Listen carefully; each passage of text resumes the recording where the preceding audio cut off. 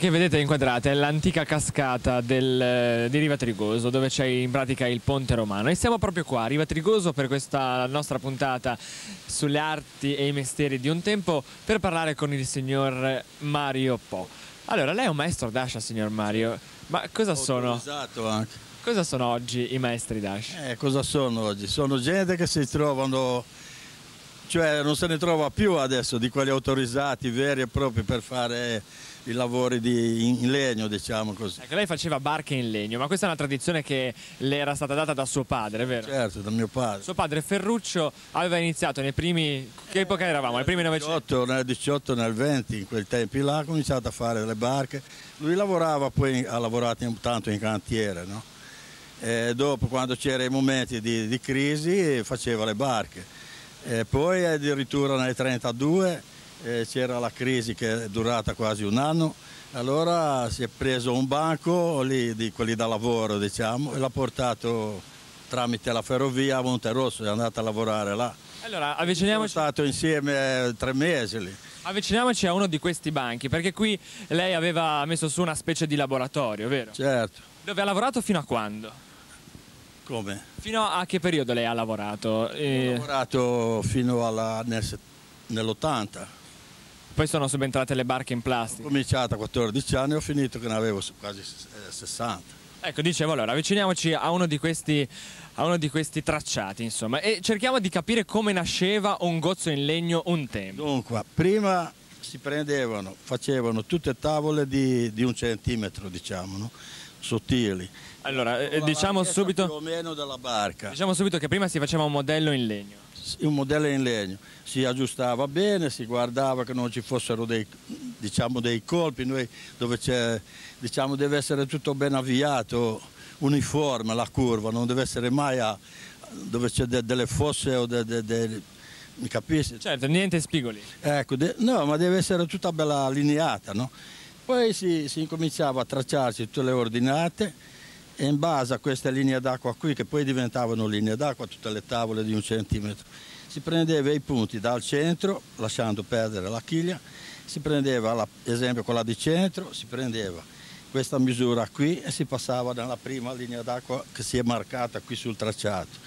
Poi si prendeva la seconda e si passava questa. Poi diciamo, veniva tutto dei punti che poi si, si univano e veniva fuori l'ordinata in, in quella data sessione. diciamo. Questi insomma erano i prototipi, questa doveva essere la barca poi come doveva essere costruita. Una volta fatto il modello in legno lo trasportavate sul tracciato. Tracciata al naturale. Quanti anni ha questa carta che abbiamo qua? Questa qui ce n'ha per così, avrà L'ha fatta lei? 70 anni. Qualche d'uno l'ho fatto io, qualche d'uno mio padre, questo qui deve essere di mio padre. E avrà una settantina d'anni questa carta. Ecco, su questo tracciato c'erano le linee in scala reale della barca. La barca, difatti se lei guarda, vede, queste qui sono tutte le, le ordinate. La prima, la seconda, tutto via.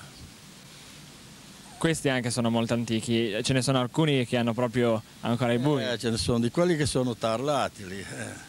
D'altra parte tutto non si può. Quante barche lei ha costruito? Quanti gozzi?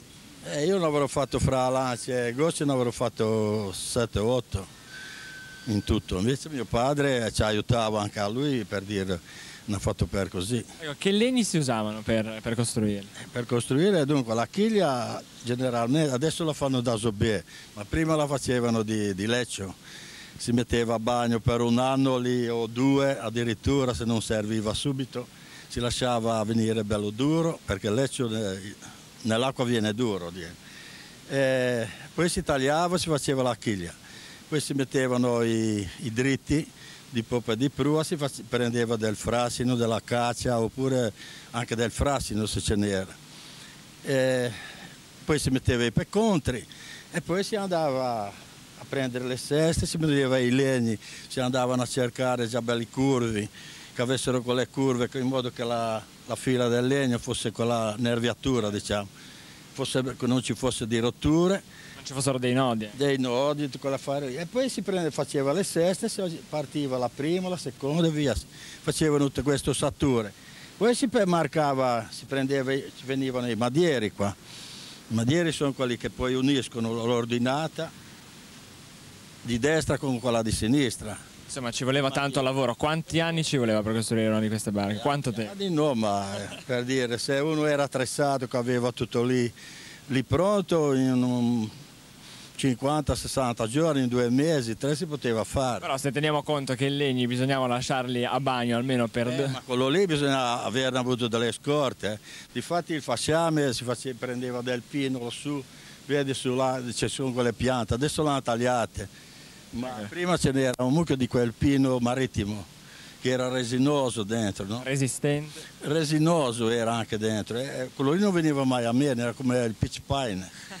Senta ma lei mi ha detto che ha iniziato a 14 anni, però questo le è stato tramandato appunto da suo padre. Suo padre anche a Voghera era andato? Perché anche da bambino, quando avevo del tempo, non ci andavo ai jukebox, ok, andavo giù al magazzino a aiutare mio padre, capisci? E sono sempre quei momenti di, di, di, libertà che avevo, più delle volte ero lì a aiutare mio padre. Ma lei mi raccontava che suo padre in bicicletta era andato fino a Voghera? È andato qui nel 42, non so in che anno, quando c'era la, la, guerra, diciamo. Non c'era di lavoro, qui era tutto chiuso, l'avevano bombardato, i cantieri arrivano. E allora ha preso la bicicletta, si è messo un portapacchi davanti e di dietro, si è messo due casse di, di ferri ed è andato da Voghera, là da dalla ditta Rona che faceva i motori marittimi, no? è stato un po' anche quello che l'ha sovvenzionato, diciamo lì, e ha fatto una barca di 12 metri e una di 9, la sua voghera, poi con le ruote l'hanno portata giù. E poi comunque è tornato a lavorare qua a Riva? Poi è ritornato a Riva, sì. poi ha lavorato da Stagnara, abbiamo fatto dei pescherecci quando io sono ritornato dalla Germania, che non ho fatto tre anni io di, di militare tre anni, l'ho fatto cinque fra i militari, eh, perché ero nella finanza di mare, io ne ho fatto tre anni. E poi mi hanno preso prigioniero in Albania e sono andato a finire in Germania. Quando sono ritornato nel 1945 eh, in cantiere non c'era più lavoro, erano tutti in giro e lì invece da Stagnaro facevano un mucchio di barche. E lei allora? E allora ho preferito andare lì da, lavorare. Lì, lì faceva un mucchio di ore, a quei tempi basta fare delle ore. Ma chi vi commissionava queste barche? Ma queste costavano? Erano, quelle di mio padre e quelle mie erano generalmente pescatori. I più che venivano che volevano magari una barca di 4 metri, di 5, che la volevano un po' più larga, un po' più stretta, insomma si stava anche un po' a quello che dicevano loro, come la voleva. Invece da Stagnaro lì facevano dei pescherecci grossi, hanno fatto eh, perché andavano a quei tempi, tutti andavano a, a prendere i formaggi, commerciavano là con la Sardegna, era un'America. Ma costavano queste barche? Eh, costa, a quei tempi quando li faceva mio padre costavano mille lire. Senta, ma lei mi raccontava che lì, in quel laboratorio, adesso forse il cameraman riesce a inquadrarlo, eh, costruivate anche qui alcune barche. Una volta avete addirittura dovuto rompere... Le più le abbiamo costruite lì. Eh, una volta perché, perché, era più piccola la porta di adesso. Eh, siccome questi qui la volevano a tutti i costi, fatta da, da noi, quella barca lì, e ha detto ah, semmai si rompe, era già preventivato. E abbiamo dovuto rompere. Poi per vararle... Eh, le, le... Le portavamo, là vede là dove c'è quel muro là. Era un po' più basso di adesso, no? Eh, si mettevano due legni lunghi, si mettevano tutti i parati e poi con un paraco attaccato lì dentro alla, la casa. Lì, li facevate scendere in, in, in nel fiume? Facevamo il vario, lì facevamo. Ma c'era anche la cerimonia? Eh certo che c'era. Ci mettevamo le bandiere, c'era tutta la gente là a guardare, insomma. Sono bei ricordi. Sono bei ricordi, sì, purtroppo. Qui quanti tracciati ha? Eh, ce ne sono davvero tanti. Eh, ogni barca ha il suo, poi è logico che con una se ne può fare poi diversi, più o meno si correggono un po', non è che tutte le volte deve stare lì a fare, magari una va un po' più lunga e si capisci? Con un po' di accortezza. Eh, appunto, uno che del mestiere, anche se va 50 cm più lunga, poi una volta che ha messo i dritti e si regola con le ossature, fa camminare magari un po' più a popo, un po' più a prua, insomma. Dica la verità però, ora che vede queste barche moderne costruite in plastica, in vetroresina, un po' di tristezza? Eh, tristezza è la modernità, cosa vuoi che le dica? Io intanto ormai quello che ho fatto ho fatto, perciò gli altri, certo che le barche in legno per conto mio sono molto più, più marine di quelle di plastica, hanno più galleggiabilità, insomma C'è qualche aneddoto della, della, sua storia, del suo lavoro che ricorda particolarmente? Qualcuno che le chiese che sa una barca particolare? Ah, cosa vuoi dire? non mi ricordo di... In cantiere com'era il clima? In cantiere... Si lavorava? Ma in cantiere si lav... quando ero, avevo 14 anni, 14 anni e mezzo sono entrato io. Sono andato con i tracciatori navali, no? Si faceva due volte alla settimana, eh, fino a mezzanotte si lavorava. Dunque guardi un po', 12 ore al giorno e in più due volte alla settimana fino a mezzanotte. E si guadagnava 30 centesimi a cottimo e 40 in giornata. Noi Ma... eravamo sempre a Cottimo e 30 centesimi l'ora si guadagnava. Ma che strumenti avevate? Lì dai tracciatori e lì erano disegni, noi eravamo garzoni lì, eh. si bulinava, ogni, dove ci andavamo fuori dovevamo farci un bulino con, di ferro, una martellata, si rimaneva al buio. Tutta a mano? Tutta a mano, sì, si marcava, si scriveva tutta a mano. Paratia Stagno, numero 25. Eh. Ma oggi, oggigiorno ce ne sono ancora maestri d'ascia o no? Ma io che conosco qui, qualche d'uno ma sono tutti in pensione, ormai di quelli giovani mi pare che ce ne abbiano più poca voglia. Ormai è una tradizione che si perde. Anche l'ambiente è così che non li... perché sarebbe un mestiere anche se uno le imparasse bene, non è che andasse tanto male, eh, perché ci sono delle barche da riparare, ci sono. Dovrebbe anche rendere poi, economicamente. Poi se ne potrebbe fare anche delle nuove per dire. Non è detto che c'è sempre quello che è amante del legno. Eh. Insomma, lei è un po' un uomo di mare. Eh. Un vecchio lupo di mare? Eh, insomma. Fare il bagno si andava. in barca non tanto però. Eh. Lei le costruiva ma non andava in barca? Eh, ci andavo sì, ma poco. Ero più... Non mi andava tanto. Sono rimasto scottato specialmente la... durante la guerra. Sono un cacciasommergibile, ho detto se vado a terra in mare. Sì, ci andavo per dire a girare, a fare una, una burdesà così, ma... Ma una barca per lei l'ha mai costruita? L'avevo fatto una volta. E che fine ha fatto? Le ossature piegate, molto leggere, no? Eh, però poi mi comincia a dire mio padre, cosa ti ha portato a fare da Maina, dalla spiaggia, che poi ci vanno tutti sopra, e da chi è da là, insomma, come ha limato tanto che l'ho venduto. Avevo fatto 57 mila lire, ma era là dopo la guerra, nel 47 saremmo stati. Adesso insomma rimangono soltanto i ricordi? Eh sì, eh, purtroppo. Comunque sono bei ricordi perché si era pieni di salute, si lavorava, eh, non è che adesso mi manca la salute per il momento, però si era anche giovani, era tutto diverso la faccenda. Ci troviamo a Riva Trigoso nel retrobottega dove una volta si facevano i commenti e i discorsi e non direttamente quindi al pubblico della rivendita giornali di Domenico Valentino e Domenico Valentino, classe 1923, lo abbiamo a fianco.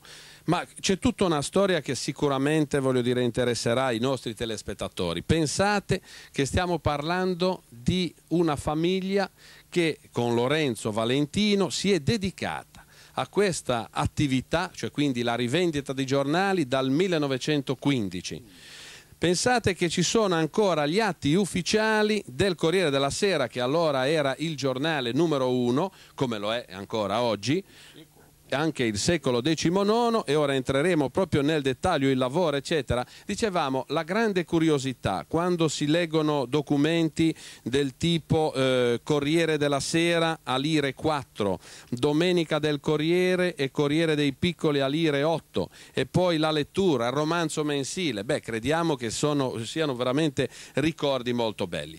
Ora a Valentino avremo voglia di fare tante domande, io direi di cominciare dalla più simpatica prima di arrivare arrivare a parlare naturalmente di suo padre. Ma lei Valentino, a che ora si alza al mattino? Questo per essere chiaro, negli ultimi 50 anni, a che ora si è alzato? Alle 4 e mezza delle mattine sono in piedi.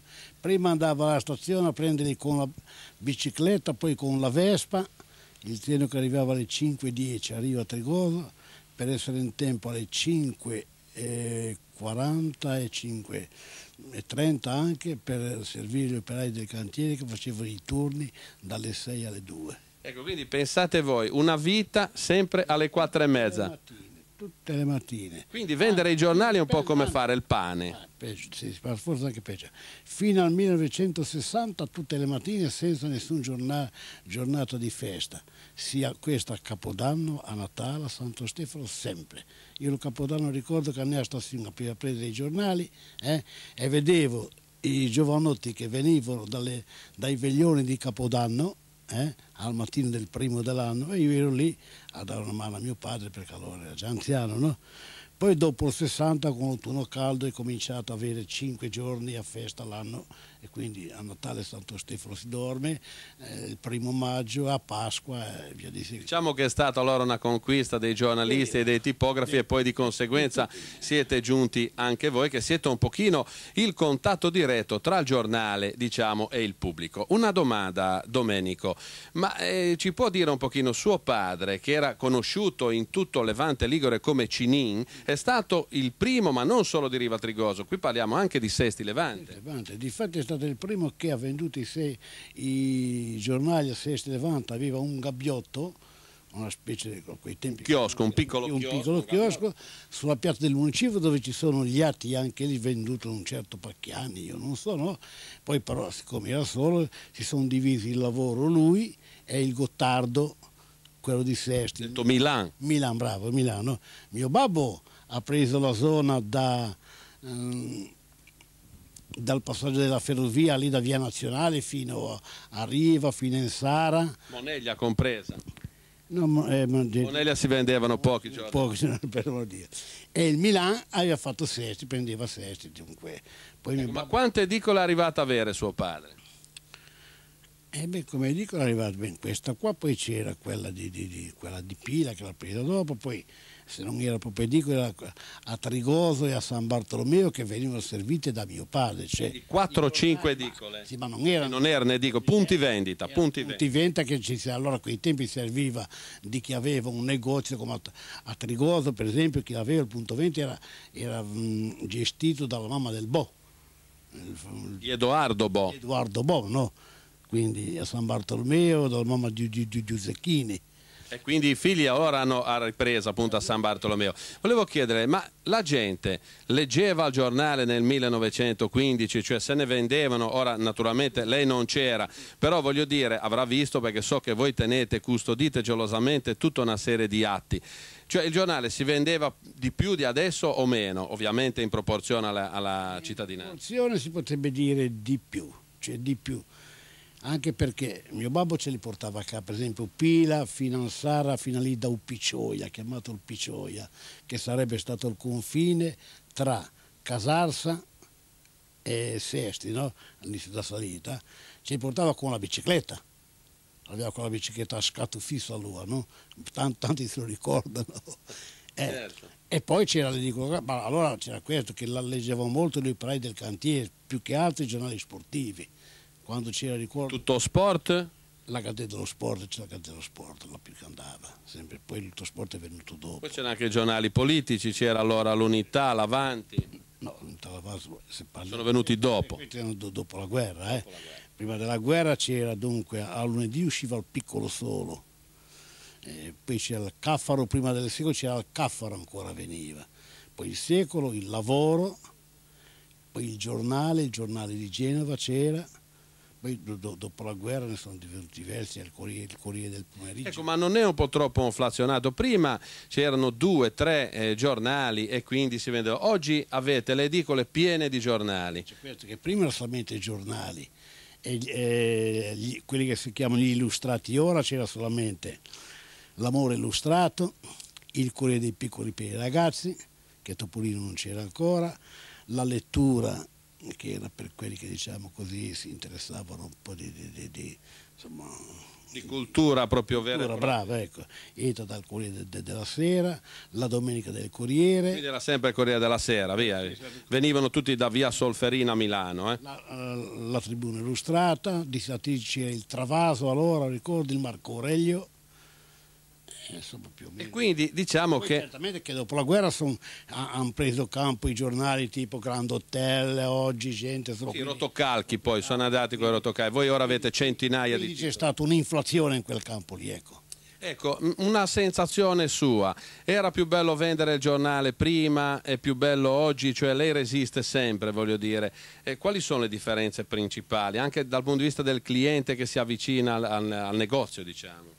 Eh, ben, prima vi conoscevate di più forse? Ci si conosceva di più prima cosa, poi anche beh, di altri tipi, io ricordo per esempio alla sera, io ero ancora ragazzo, no? E ben lì in bottega era un po' un, come potrei dire, una riunione di, insomma, che venivano lì a parlare insomma, di una cosa o dell'altra, in un certo qual modo. Si chiacchierava e quindi era anche un modo... Un ritrovo, ecco. C'era anche magari chi approfittava di leggere il giornale a scrocco, come si suol eh, dire. Vabbè, ma sì, anche quello magari. Ma si fermava la gente ogni tanto fuori a leggere un po' qualche titolo e magari non c'erano allora i soldi, oppure il giornale costava poco. Da allora che non c'erano le locandine come c'è ora, eh, fuori, eh. Certo. Quindi sapevano, chi voleva il giornale sapeva dove. C'era, non c'era la televisione, diciamo che quindi è questo. Era, era, erano più tentati a prendere il giornale. Oggi invece spesso succede che proprio con la televisione l'indomani se non si fanno proprio dei commenti e le notizie li hanno subito. C'è qualcosa di, di, di, di qualcosa particolare. di particolare o di clamoroso. No. soprattutto sulla località magari dove non viene trattato sulle televisioni nazionali. Il, il, coso politico, ormai il fatto politico non interessa più alla gente, insomma, almeno perché c'è la televisione che... Ecco, suo padre, lei ricorda qualche aneddoto di suo padre? Perché dico, magari eh, immagino io una data strana. Nel settembre del 1937 è crollato il ponte di Riva Trigoso a seguito di un'alluvione. Io immagino che anche quella mattina lì avrà dovuto fare un giro diverso, ma i giornali sono arrivati anche col ponte di Riva Trigoso crollato. Quello sensato. Io ricordo questa data. Sì, sì, do, 37. 37. Settembre 37. Allora, che eu passei o cosa, sta si ganhada aqui. E da passei para a passerella quando fu quella passerella lì. Certo, è stata costruita, certamente, abbiamo le fotografie. Ti ricordi le fotografie che ti e certo, e quindi Valentino, bisogna dire la verità, qui siamo di fronte a una storia intera e c'era persino una battuta che era quella che una volta eh, non dicevano giornalaio, che poteva essere un, in senso dispregiativo, ma dicevano giornalista vista. Quindi, quindi qualcuno aveva concepito, voglio dire, che la categoria dei giornalisti forse eh, erano dei lungimiranti, farebbe meglio a vendere giornali e chi vende i giornali invece magari a scrivere perché forse ne leggete più voi di giornali. Anche perché allora vendere i giornali era considerato un mestiere più o meno basso, capisci? Cioè, vedi, non voglio dire come lo spazzino, ma perlomeno capire, perché quello che andava in giro a vendere i giornali praticamente. Oggi gli operatori ecologici, così si chiamano, sono quelli che guadagnano di più. Che perché le categorie è sempre stato così. Ma voglio dire, appunto, quindi voi eh, avete, è una scelta di vita quella di vendere giornali, però io vedo che lei c'è molto attaccato, perché oggi con i tempi eh, che sono, però lei continua a tenere aperto proprio anche per servire gli operai del, del cantiere che fanno il turno delle 6. Sempre, quello senz'altro, sempre, ma d'altronde cosa, cosa devo fare? Fin, finché ci riesco tiro, tiro avanti, eh. perché anche non, non, ne potevi fare a meno, per me era, ormai è diventato come di, di, di un'abitudine. Ma lei mi dica una cosa Domenico, i giornali li legge o li vende soltanto? Eh, certo, ora non li leggo più, o perlomeno pochi. Poche. Una volta invece? Invece tante. C'era grande curiosità. Sì, era curiosità insomma, di vedere l'articolo, il titolo. Anche perché mi pare di ricordare bene che in famiglia avete avuto anche chi ha scritto, eh, voglio dire, libri, chi ha scritto, chi ha fatto il corrispondente di giornali, vogliamo ricordare. Mio, mio, di, di, di, mio cognato, il fratello di, il, il marito di, di, mia sorella ha scritto il famoso via quel libro di Riva, 100 barche, 100 padroni, ha fatto per tanto Quindi tempo. Bregante? Bregante Antonio. Ha fatto, Antonio. è stato corrispondente anche, voglio dire, dei giornali. Ha fatto anche per il del lavoro, ha fatto quindi...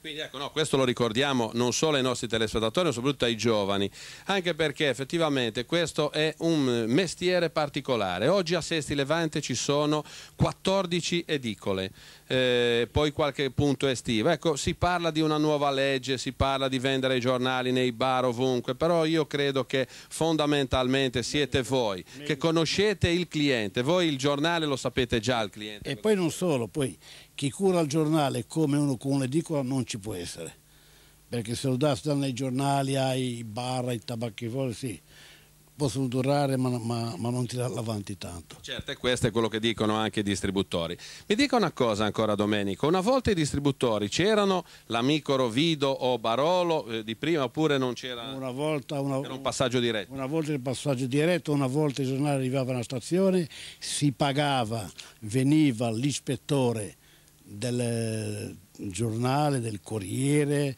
del Seco, no, a fine mese a ritirare i soldi si pagava direttamente. Lui si era eh, stabilito un rapporto, per esempio con mio babbo eh, ci volevano bene tutti gli ispettori che venivano, no? infatti quando venivano qua si fermavano a mangiare, stabilire un, di, un rapporto di, di, umano vorrei dire proprio. Poi dopo eh, dei, dei distributori i giornali sono ampliati come... Quindi c'è anche un servizio di distribuzione.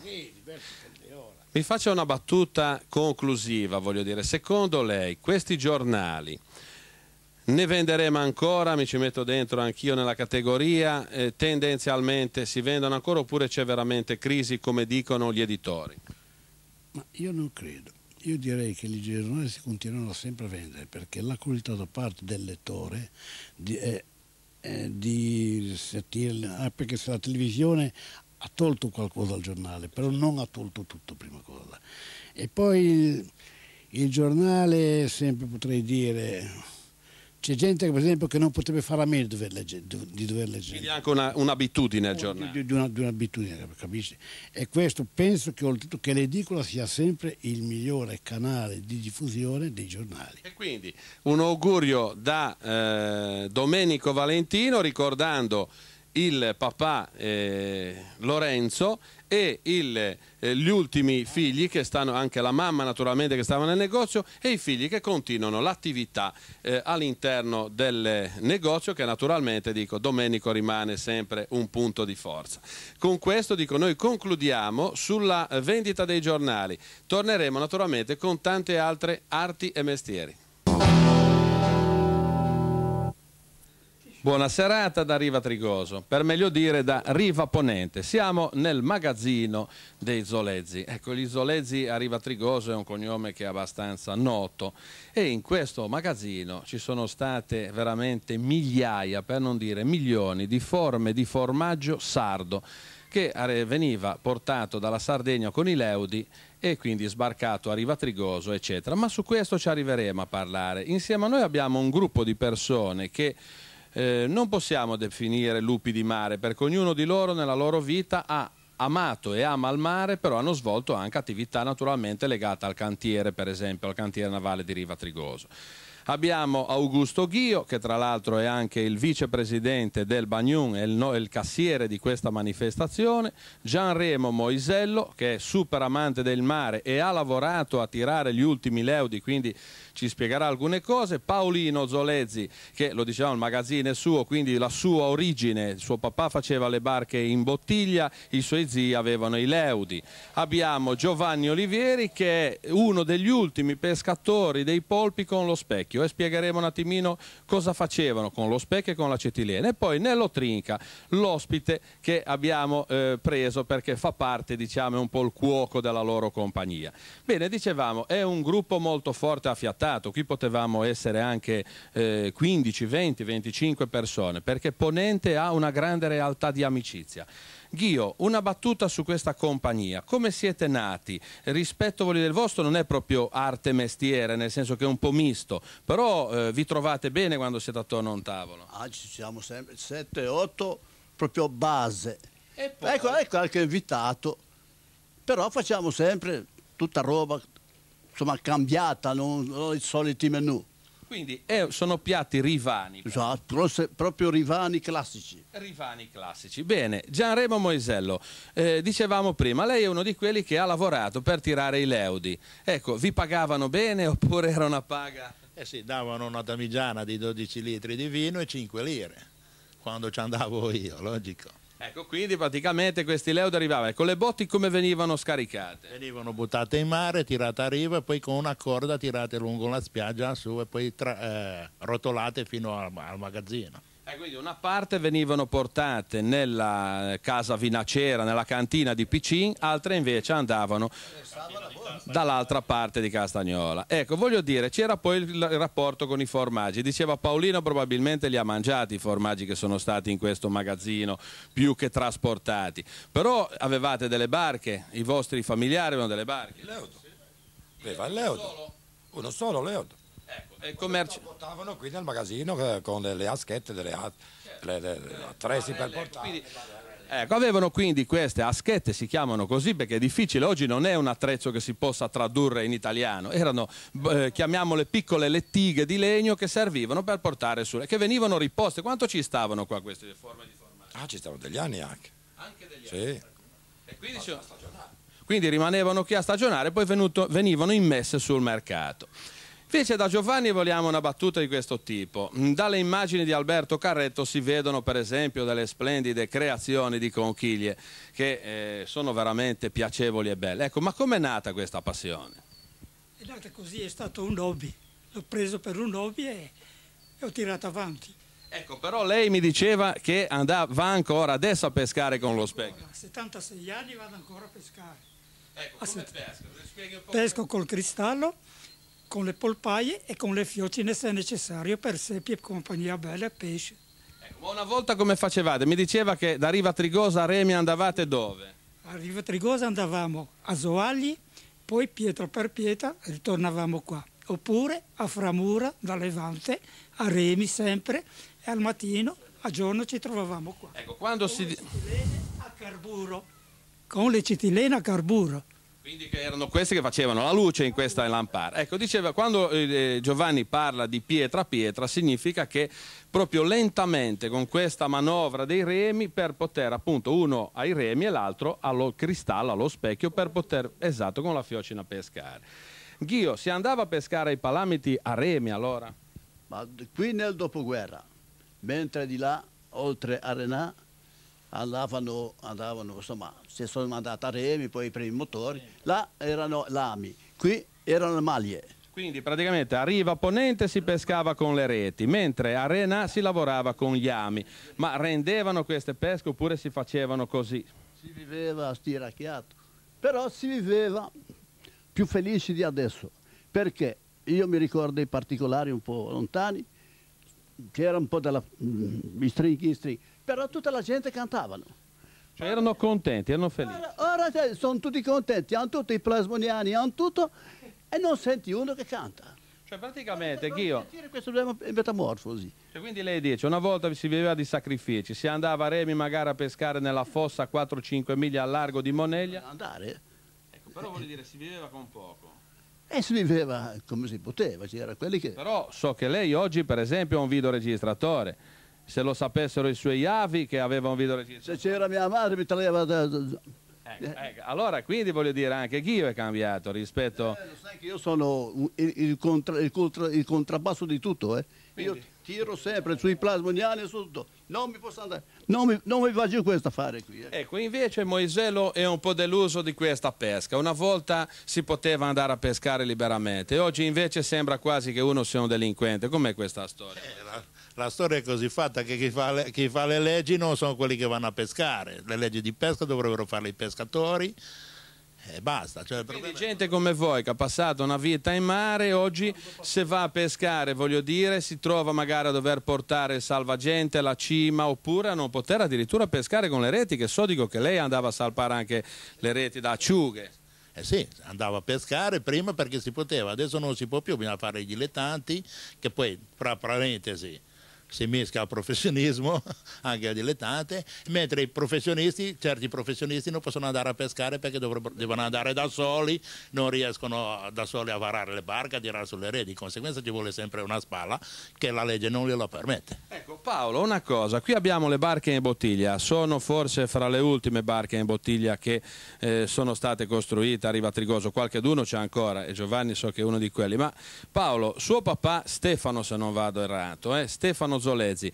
Ecco, ci si cioè, dedicava molto tempo a questo. Quando le faceva queste barche? Eh, le faceva quando, alla sera, quando usciva da lavorare al cantiere, poi mangiavano e poi alla sera due o tre ore dopo mangiato fino alle 10, 10 e mezza e facevano queste barche qua. Cioè, quindi praticamente se ci fosse stata la televisione come ai giorni oggi forse c'erano meno barche. Sono convinto anch'io di quello. Ecco, quindi mi dica una cosa però, lei eh, barche in bottiglia non ne fa, lei va solo a vedere la Sandoria. Sì, quello lì certo, quello lì dopo la, dopo la famiglia la passione alla Sandoria. E barche in bottiglia? Barca in bottiglia mia, contento di guardarle. Ah, ecco, quindi questa è eh, la passione del nostro Paolo Zolesi. Giovanni, eh, i polpi, però prima ritorno a Moisello, eh, perché lei li pesca ancora adesso. Oggi il polpo vale dei soldi e lo sanno le nostre massaie, i nostri telespettatori sanno che i polpi variano dalle 8 all'ingrosso fino alle 15-16 mila lire al chilogrammo. Moisello, io so che c'è un episodio quando i polipi non li voleva nessuno, cosa ne facevate? Beh, io andavo a pescare con eh, certo Massa, che era di Porto Venere, aveva delle nasse. E noi andavamo a pescare i polpi per affumicarli con le canne che portava al mare e infilarli nelle nasse per prendere gronghi e murene. Quindi addirittura proprio li gettavate via praticamente. Era- erano gettati via, cioè i polpi li mangiavano solo le famiglie meno abbienti perché non c'era altro. Eh, Qui abbiamo Ghio che non si ferma. Lei quindi, ma questi, quando lei è sfolato a Santa Vittoria, mi pare, dona- ecco, ha portato qualche polpo a- nell'entroterra? Ah no, eh. Meglio prendere un po' di basina, ma i polpi NN. Quindi per qua... Via polpi non ce n'è mai, non ce n'è mai stato. Ecco, voi pensate, oggi si vanno a ricercare queste ricette particolari sui polpi, mentre Ghio sostiene che i polpi sono eh, pesci non... Dice, Polpi, la seppia, il, eh, il totaro, il calamari, come chiama? Non sono polpi. Non sono pesci. Non, eh, non sono pesci perché non hanno le, le- scaglie e non hanno sangue. Ecco, E noi diciamo che spesso invece la gente non vuole i pesci perché hanno le lische, preferiscono i calamari che sono buoni. E qui viene a contestare un pochino perché lui è un contestatore nato. Ma Giovanni, com'è sta storia dei pesci e dei polpi? I polpi sono buoni. I polpi sono buoni.